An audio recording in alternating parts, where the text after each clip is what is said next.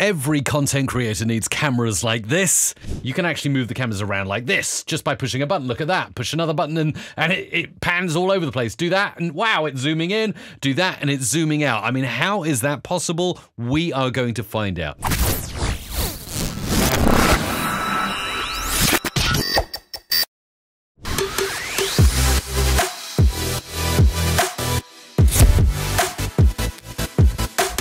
PTZ Optics were cool enough to sponsor this video and send me two of their awesome cameras. Now I unboxed them and they come with loads of great stuff, including the camera itself, the possibility to control it with a remote control, and loads of other accessories that'll help you get started. The best thing about all of these cameras is that they work by connecting to your network, so you can connect to them over IP, and not only that, you can plug in some Ethernet cable and power them over Ethernet as well if you have that ability. So no need to search for cords and plugs and stuff. Ethernet cable with the correct PoE or PoE injector will power up these cameras and bring them to life. They're really cool. They can move around. They're PTZ, so pan, tilt, zoom. They can follow you all around. And not only have I got one in front of me on top of a speaker, so I can talk right into it and communicate with you, but I've also got one over my shoulder that is looking at everything I'm doing, and I'm going to use lots of MIDI presets later to control that camera and move it around my studio. To get the best view, I actually grabbed one of the PTZ Optics ceiling mounts and spent some time installing it. I had a lot of fun. Uh, a lot of curse words were said as I was trying to get screws into walls and screws into brackets, but actually, it was made really easy with the fact that the brackets are super compatible, super easy, and I got it on the ceiling of my wonderful studio so that I get this beautiful view to set up lots of presets later so I can move around my studio and show you what exactly is going on. Let's find out what these cameras do. Now, first up, thank you PTZ Optics for sponsoring this video and sending me out some really cool cameras. I've got the NDIHX editions, I've got the 30 times zoom, that's behind me, and I've got the uh, 12 times zoom in front of me that I'm talking into. Now, the coolest thing is you can control these cameras with MIDI, and because the Rodecaster Pro 2, which I have sitting in front of me, has MIDI integration, you can actually move the cameras around like this just by pushing a button. Look at that. Push another button and, and it, it pans all over the place. Do that and wow, it's zooming in. Do that and it's zooming out. I mean, how is that possible? We are going to find out. Now, first of all, because I'm working in NDI, you'll actually see on my screen here, I've got OBS Studio loaded up and I've got like a kind of multi-view so you can see everything. You can see I've got my mirrorless camera up here. I've got one PTZ optics camera coming in via the NDI 5 source and my front one that I'm talking into, that's also coming in via Uh, another source.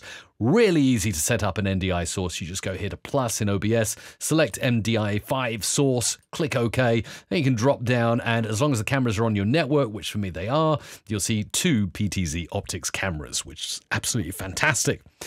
Now, you use the same IP on your network to connect to those cameras and set up the MIDI integration, which is really, this is really cool stuff. So over here, I've logged into the IP of both cameras. And for instance, this one here, uh, this control panel is controlling the one that is behind me. So I can do all kinds of cool stuff with this. Not only can I dial in the video, the image, the audio, and everything I need to, but I can actually set up presets on my camera and set them to control. Now, I, I set up a bunch of presets earlier for this. So you'll notice that I've got preset 2 set up here and preset 1 already tied to some controls. Now, when you get to this page, you may find that these options aren't ticked. You definitely need to tick enable MIDI commands and display them in the browser because when I hit a button on my Rodecaster, look at this, it changes the number down here and it gives a MIDI command value. Look at that. So I've preset up some MIDI commands on my Rodecaster already, and I'll show you how to do that in just a second. But let me show you how to set up another preset. So as you can see, when I'm hitting those buttons, you see the uh, the Rodecaster now has a nice zoomed in view. This 30 times camera is really good. It can get right in on my Rodecaster, like which is like quite far away. It can zoom right in on a little LCD screen there, so that's really good right out of the gate. Let's go in and let's set up another preset. So we want to set up preset number three and tie it to a MIDI button. So if I press the MIDI button here, this is going to be button three, and I can see it's button MIDI command 17 is attached to that, and it goes from zero to 127. So zero is off, 127 is on. All I need to do is say when there's a control change on MIDI button 17, trigger the preset. Then I just map it to the MIDI Boom, it's done. Okay, now we'll go back and we'll click that button, boom, and it's gonna, wow, it's gonna zoom in right there on my microphone. And then I can press this button over here and I can zoom back out to get the full on over the shoulder view, which is really, really cool. Again, I'll, I'll go ahead, I'll go back to the MIDI control section here of my camera and I'll map a preset I made earlier, preset 4, and I want to map it to this uh, purple button that I've got here, which is button 21. So when there's a control change on button 21, map it, boom, click OK. And then when I push this, it's going to do another preset. Whoosh, there it goes. It's going round and round. What's it going to find?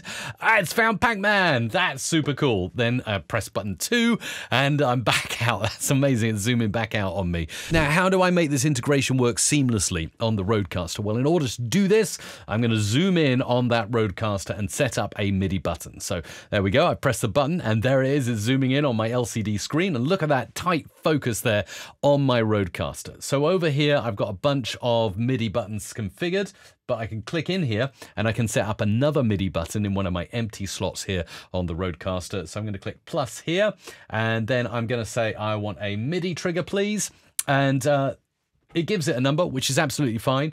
We've got momentary or latching. I want to click momentary there. So I'll do that and then I'll click tick to assign that. So now I've got MIDI trigger down there. It's a lovely blue colored button. I can actually hit this trigger now to zoom back out. And you can see I've got a brand new button lit up on my Rodecaster right there.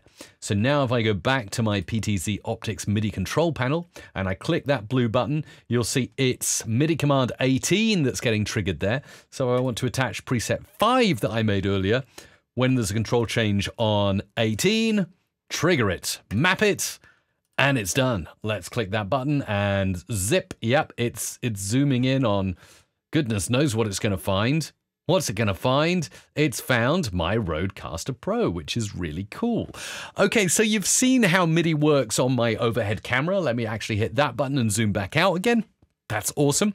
How would I create a preset on my camera? Well, actually, I'm really happy that I can control this using remote control. So that's really cool. And coming in the future, by the way, there's going to be a really cool feature on these cameras where they can auto track your face. So I've got a camera that's facing me. It's absolutely still and steady. But in the future, I'll be able to move around and the camera will follow me. A bit like those modern AI cameras that see the face and follow it everywhere. So could you imagine in a studio or in your broadcast environment, being able to walk around and have the camera track you. So that's just a heads up on a future feature there. Okay, so with this remote, what I can actually do, I can do everything I want to uh, by moving around. So I can actually, when I'm hitting the buttons on my remote, see it's actually moving around my studio like that for me, which is absolutely fantastic. Isn't that cool? And then if there's something specifically I want to uh, attach to a preset, maybe that lovely pyramid there. So let's try and like kind of basically get this in like so. That looks good. And then I'm going to click the zoom button and I'm not very accurate myself. There we go, nearly there. Zoom in on that pyramid. That's looking good. Okay, that's a cool pyramid. I like that shot.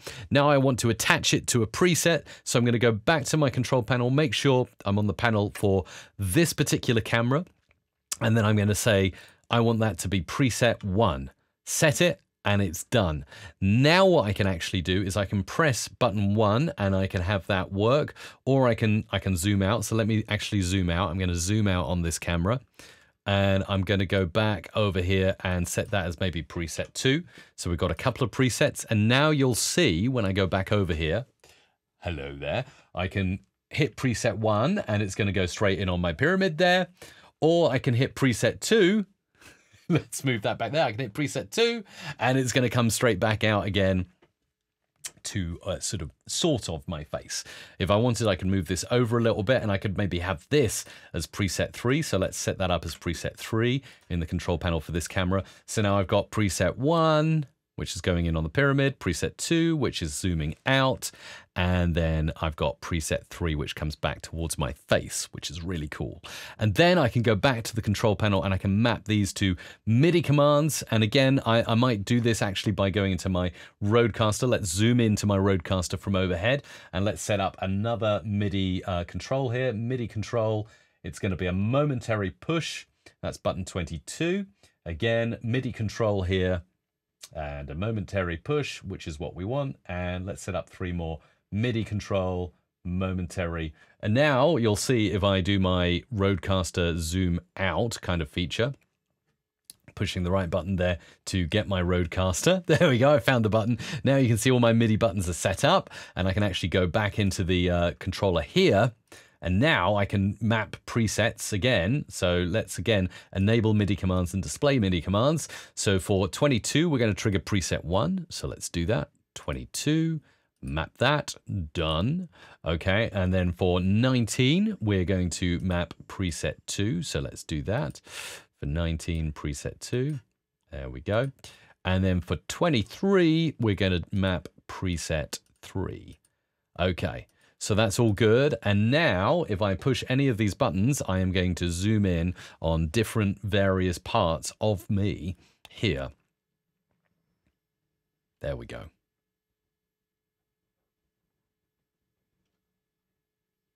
How cool is that? And then I can use the remote, of course, if I want to adjust this and get any kind of view that I'm looking for. It's all possible with the PTZ optics cameras with the amazing MIDI integration and it doesn't just work with the Rodecaster, so I can use any device, any anything that's got MIDI in it, like a keyboard. This little keyboard, I can actually plug this into my computer here. I've actually got a USB port right in front of me. Let's plug that in. And once it is recognized by my computer, it should appear as an option in my MIDI drop-down. Might need to give it a second.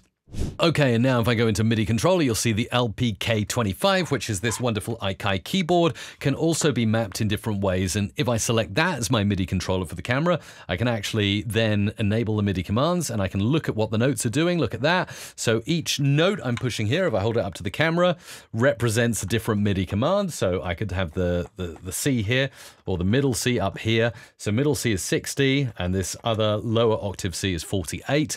So I could have preset one Again, control change here for 48. Let's scroll down and find 48. Will be mapped. And again, we'll do the same for preset 2, or let's actually use preset 3 for a control change on MIDI command 60. Okay, now if I press this MIDI command, it's going to do something with my camera. And if I press the other MIDI command over here, it's going to zoom back out just as I push buttons on my keyboard. So I'm pushing a button here. In it goes on the pyramid. And then we'll push another button. Let's get a clearer shot. And then we'll push another button and it's zooming back out. So it's super cool and it goes to show you that anything is possible with MIDI integration and the PTZ optics cameras. The question is, how are you going to be using these in your creation? I highly recommend using the Rodecaster Pro. It's really cool, really easy to set up MIDI on the Rodecaster and get things working. Let me know what you think of this and any questions you have in the comments down below.